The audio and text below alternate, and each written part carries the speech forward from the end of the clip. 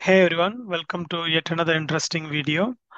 In today's video, I'll show you how you can automate the database patching of your Oracle Base database in OCI, and we'll be using OCI CLI.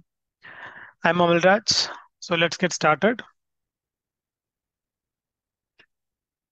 Now, if you have an Oracle Base database, one of the easiest way to patch is go to the console, uh, go to the DB details page, uh, which I'm in, as you can see in the screen. I'm in my database details page, and from there you can go to the version and click on the view, which will show you the available patches for your database. And from the available patches, you can go to the right hand side, click on the three dots, and you can do the pre-check and first do the pre-check and then do the apply. So this is the easiest way. Of course, this is very well possible and then you can use it. But if you have large number of databases or, or if you want even if you have smaller number of databases, but you want to automate the process, uh, then there are multiple options. You can use the uh, SDKs. You can also use um, OCI REST endpoints. But one of the easiest way that I have seen is using OCI CLI, and which is what we are going to uh, discuss and uh, show today. So for to use OCI CLI, there are again multiple ways. You can either install the OCI CLI in a separate compute host, okay, or you can use the Cloud Shell. So for today's video, I'm going to use the Cloud Shell. You can go to your, as you can see in the console, go to the developer tools and then click on the Cloud Shell. So the Cloud Shell will look like this. And this is what we are going to use to initiate our OCI CLI commands. So OCI CLI is Oracle Cloud Infrastructure Command Line Interface. So that's why we need a shell. Now, when you use a Cloud Shell for OCI CLI, there are two things that you need to keep in mind. The first thing is you need to configure the OCI CLI. It is installed, but it is not configured for you. So you'll have to configure it for you. Of course, you can refer the Oracle documents and easily do it. The second one is if your DB system or Oracle Base database in a private subnet, then you'll have to do an additional configuration of your Cloud Shell. You can come to the network and then do the click on the private network definition list. Of course, there are documents that you can follow and enable your Cloud Shell to communicate to a private subnet. So for today's video, I have already done the OCI CLI configuration and my database is in a public subnet. So we are done we can get started. And then uh, in today's video, again, there will be two parts. In the first part, we'll be uh, doing the pre-check for the patch. And the second part, we'll be focusing on doing the actual patch itself. Okay, so let's start with uh, part one the step one of the part one is we need to get the database source because uh, that is where that is the database for which you are going to apply the patch. So for that, uh, you can go to the console and then you can go to the DB and then get the OCID. So for this video, I have done it manually. And of course, you can explore the automatic ways or automation. So for I have copied the DB OCID and now we'll have to export it. So let us do that.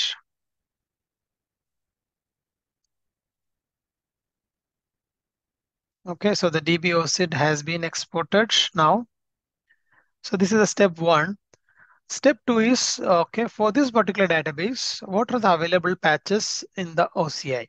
So for that, we'll have to execute a command. I'll show you that command. So this is the command which we'll execute. It will get the list of the patches by the database and we are we are passing the DB OCID here and then we are getting the output to a JSON file. So let's do that. Okay, now let us see the contents of the JSON file. Okay, so it has uh, all the patch details. So I am going to the extreme top. So here you can see it has uh, April 2023 patch and Jan 2023. And again, in the bottom, there are a couple of uh, other patches that we have seen from the console. And for today's uh, video, we will be applying the latest patch, which is April 2023. And I'll show you the next step, how you can automatically you know, take it from this JSON file. Let me clear this.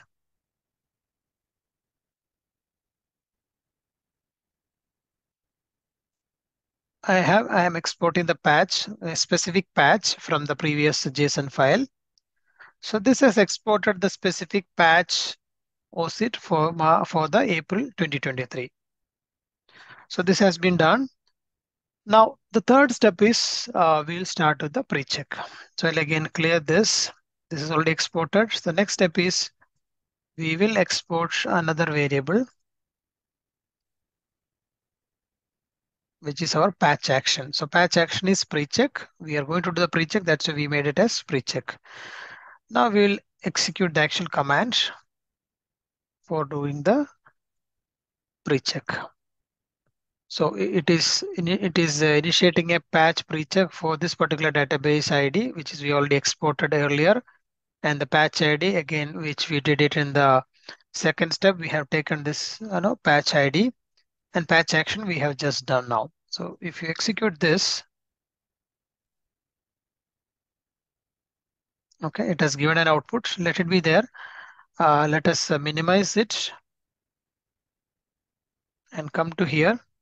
And soon we will be able to see uh, the patch pre-check has been started and it is started applying. As you can see now, the April 2023 patch has started applying. So this is one way. Of course, the idea is not to come to console. I'll show you how you can do it from the uh, backend itself using OCI CLI. Of course, you can go to the database and see the work request. You will be able to uh, see it there. So let us go to the DB. Let us go to the database here. And then if you see the work request, you can see in the work request, one work request is already there and it is already in progress. So this is uh, from the console. Now let us go back to the OCI and uh, see how you can see it from using OCI. So let me clear this. So the fourth step is how to monitor the progress of the pre-check. So for that, we need a couple of things. The first one is we need to export the compartment ID. So I'm going to do that. It's done. And then, of course, our DBOCID is already exported, so we are ready to execute the command to get the work request. So let me execute that. So I'll get the work request and then I'll uh, redirect it to a specific JSON file. So that has been done. Now let me see what is the output of this JSON file.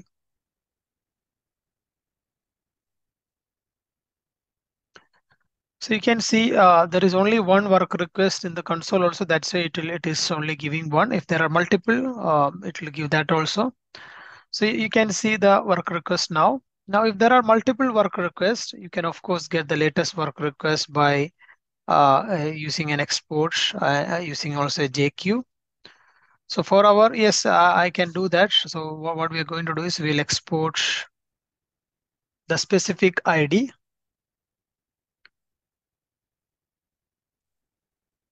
Okay, so I have done a specific ID. So that's done. So I got the specific work request ID, which I can use it for monitoring. Now let me execute another command, which will be able to uh, monitor the specific work request.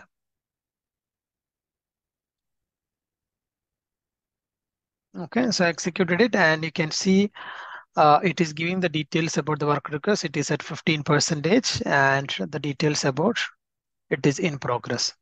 Now this is going to take some time. So we will, uh, I will be monitoring and then I'll post the video for some time. And once we are back, I'll show you the status of the pre-check.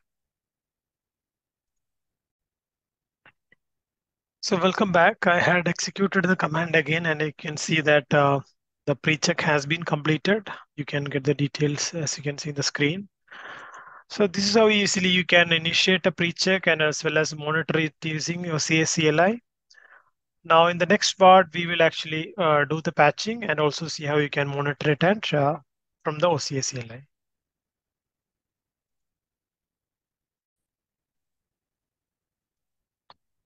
So we have all the uh, patch prerequisites. We have done the pre-check now. And for if you are immediately doing the patch, all the variables are set. Now we have to just change the patch action to apply and then start with the patching. but I'm assuming that uh, suppose you have done the pre-check uh, maybe one day back and you're starting with patching freshly. So we'll start with the step one, which is your DBID, DBOCID. So we'll first export it. And then of course, uh, we will get the patch ID. So and batch ID is redirected to the JSON file. And from the JSON file, we are we are taking the specific patch OCID. So that has been done. Now the next thing is we will do the patch action. We will uh, define the patch action. So let me do that. We have done the patch action as apply. So we are all set now. We have to just initiate the patching now. So for that, I'll execute the command. Okay, so let's do this. So we have initiated the patching, so let it continue here. Uh, in the meantime, we'll go to the console and see what's happening there. So you'll soon be in, in a couple of seconds, we will be able to see that patching has been started and it will be reflected in the console. So now you can see it has started applying. If you go to the DB system and go to the database and then go to the work request, you can see that the previous work request for the pre-check was succeeded and the current one is in progress. Now again, uh, we can uh, we don't have to come come to the console because for automation you you need all the capabilities to even monitor it from the OCI CLI. So that is why we will go back to the our OCI CLI console, OCI CLI shell, and then we will be monitoring the uh, progress from here. So for that, let me again export a couple of variables and then from we'll be initiating a command which will help us to uh, monitor. So first thing is we need the compartment ID where a DB system is there. And then of course, uh, you're trying to get all the work requests related to a specific resource, which is our database in the compartment and when then the we are redirecting it to a specific JSON file. You can change the name of the uh, JSON file. I just put it same as your pre-check. So that's done. And then we can, from the JSON file, we'll be extracting the specific work request. For example, if you see it now, previously we had seen there is only one work request. Now we'll be able to see multiple, but Nevertheless, the command will work. It will only extract the latest work request. So now you can see there are two work requests, but the next command will only extract the uh, exact work request that we are uh, that we need. Okay, so it has taken the work request. Now using the another command, we will be able to monitor it. So let me clear this and then yeah, execute it. So this is going to uh, take some time. As you can see for the specific work request, which is in progress, uh, we are able to monitor using OCI CLI. Now this is going to take some time. So I'll pause the video and then I'll come back and show you the uh, progress of the apply once it has been completed.